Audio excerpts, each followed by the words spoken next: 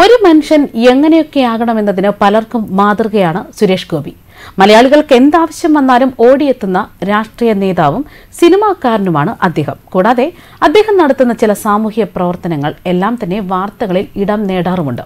അതിനോടൊപ്പം തന്നെ അദ്ദേഹത്തിന്റെ നന്മയെ ആത്മാർത്ഥതയോടെ പ്രശംസിച്ച് നിരവധി ആളുകൾ എത്താറുമുണ്ട്. എന്നാൽ ഇപ്പോൾ മലയാളികൾക്കിടയിൽ ഒരു കൂട്ടം ചിലർ അദ്ദേഹം എന്ത് നല്ലത് ചെയ്താലും കുറ്റം മാത്രം കണ്ടുപിടിക്കുന്നു എന്നാണ് അദ്ദേഹം ചൂണ്ടിക്കാട്ടുന്നത്. അക്കൂട്ടത്തിലാണ് അദ്ദേഹത്തിന്റെ ചാരിറ്റിയെ പുച്ഛിച്ചുകൊണ്ട് സി സംസ്ഥാന സെക്രട്ടറി എം വി ഗോവിന്ദനും രംഗത്തെത്തിയത്. സുരേഷ് ഗോപിയെ കൊണ്ട് സിനിമാ ഡയലോഗുകൾ തട്ടിവിട്ടാൽ ബി ജെ പി കേരളത്തിൽ ജയിക്കില്ലെന്ന് എം വി ഗോവിന്ദൻ പറഞ്ഞതിന് പിന്നാലെ സ്വന്തം അധ്വാനത്തിൽ നിന്നുള്ള പണം കൊണ്ടാണ് സുരേഷ് ഗോപി ചാരിറ്റി നടത്തുന്നതെന്നായിരുന്നു കെ സുരേന്ദ്രൻ അതിന് നൽകിയ മറുപടിയും. അത്തരത്തിൽ തൃശൂരിലുള്ള ആളുകൾ നടനെ അവഹേളിച്ച സംഭവം വാർത്തകളിൽ നിറഞ്ഞ ഒന്നായിരുന്നു. താൻ സഹായിച്ചവരിൽ നിന്നും തനിക്കുണ്ടായ ഒരു അനുഭവമാണ് ഇപ്പോൾ സുരേഷ് ഗോപി സോഷ്യൽ മീഡിയയിൽ പങ്കുവച്ചത്. ഇതാകട്ടെ ഇപ്പോൾ വൻ ചർച്ചയാവുകയാണ്. തൃശൂരിലുള്ള ഒരു യുവതി ലോസ് ആഞ്ചൽസിൽ പഠിക്കാൻ പോയി. കോവിഡിന് മുമ്പാണ് പോകുമ്പോൾ ഗർഭിണിയായിരുന്നു. കോവിഡിൽ പെട്ടു പ്രസവിച്ചു. ആ കുഞ്ഞിന് അമേരിക്കൻ പാസ്പോർട്ടാണ്. വരാൻ ഒക്കത്തില്ല. ജോലിയില്ല. വാടക കൊടുക്കാനാകുന്നില്ല.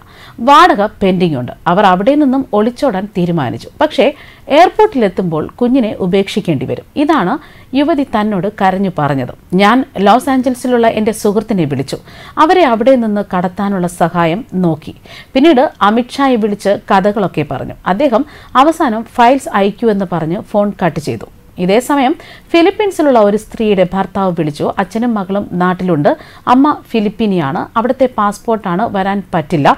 അമിത്ഷായെ വിളിച്ച് പതിനാറ് മണിക്കൂർ കഴിഞ്ഞതും അദ്ദേഹത്തിന്റെ ഓഫീസിൽ നിന്നൊരു സർക്കുലർ വന്നു. അതുപ്രകാരം അച്ഛനും അമ്മയ്ക്കും ഒരാൾക്ക് ഇന്ത്യൻ പാസ്പോർട്ട് ഉണ്ടെങ്കിൽ വരാമെന്നായി. അങ്ങനെ അവർ നാട്ടിലെത്തി. എന്നാൽ പിന്നീട് ഇതിനെ വിമർശിച്ച് സമൂഹ മാധ്യമങ്ങളിൽ പോസ്റ്റ് പ്രത്യക്ഷപ്പെടാൻ തുടങ്ങി. അതാണ് തന്നെ ഏറെ വേദനിപ്പിച്ചതെന്നാണ് സുരേഷ് ഗോപി പറയുന്നത്.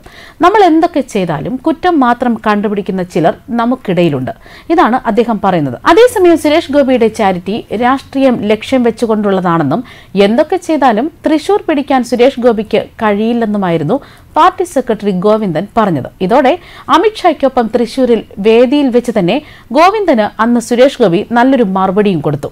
ആ മറുപടിയെല്ലാം സമൂഹ മാധ്യമങ്ങൾ ഇന്ന് ഏറ്റുപിടിക്കുകയാണ്. ഏത് ഗോവിന്ദൻ വന്നാലും ശരി തന്നെ ഗോവിന്ദ തൃശൂർ ഇനിയും ഞാൻ ഹൃദയം കൊണ്ട് ആവശ്യപ്പെടുന്നു. തൃശൂർക്കാരെ നിങ്ങൾ എനിക്ക് തരണം. ബ്രഹ്മപുരത്തെ പ്രശ്നം പരിഹരിക്കാൻ കേന്ദ്രത്തിന്റെ സഹായം ചങ്കൂറ്റത്തോടെ ആവശ്യപ്പെടാൻ കേരള സർക്കാരിനോട് കാൽ പിടിച്ച് അപേക്ഷിക്കുകയാണ്.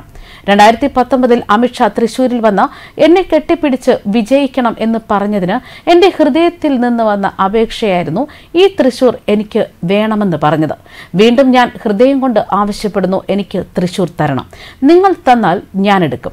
സി പി എം ഇനിയും തന്നെ ട്രോളട്ടെ. ദൈവത്തിലും പ്രാർത്ഥനയിലും ഒന്നും വിശ്വാസമില്ലാത്ത വിശ്വാസികളുടെ ചട്ടയെടുത്ത് അണിഞ്ഞു കൂടെ നടന്ന് പിന്നിൽ നിന്ന് കൊത്തിയ കോമരങ്ങളെയാണ് താൻ ശപിക്കുമെന്ന് പറഞ്ഞത്. നിരീശ്വരവാദികളെയോ അവിശ്വാസികളെയോ അല്ല. ഇരട്ടച്ചങ്കുണ്ടായത് ലേലത്തിലാണ്. അതിനുശേഷം വന്ന ചില ഓട്ടച്ചങ്കുകളാണ് ഇപ്പോൾ ഇരട്ടച്ചങ്ക് ചമഞ്ഞ് നടക്കുന്നത്. രണ്ടായിരത്തി ഇരുപത്തിനാലിൽ ഞാനിവിടെ സ്ഥാനാർത്ഥിയാണെങ്കിൽ തന്റെ രണ്ട് നേതാക്കളാണ് ആ തീരുമാനമെടുക്കുന്നത്.